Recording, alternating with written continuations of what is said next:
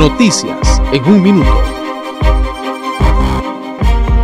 Tenemos más noticias. El vicepresidente Óscar Ortiz, autoridades de Economía y CIGED firmaron un contrato de estabilidad jurídica con la empresa Ventus para la instalación de un parque eólico. Ventus, subsidiaria de Tracia Network Corporation, invertirá 73.2 millones de dólares de capital guatemalteco, hondureño y salvadoreño para producir energía eléctrica en Metapán.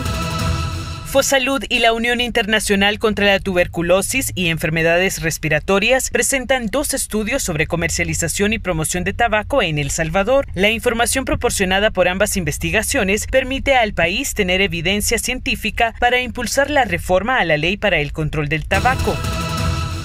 Protección del medio ambiente, reducción de la vulnerabilidad y proyectos para contrarrestar el cambio climático son parte de los legados de este gobierno, asegura la ministra Lina Paul. Ahora El Salvador cuenta con un inventario de humedales, el Observatorio Ambiental, el primer sistema de información hídrica del país, el CONASAF, el Sistema Nacional de Medio Ambiente, SINAMA, y un aparato operativo en el territorio. Noticias en un minuto.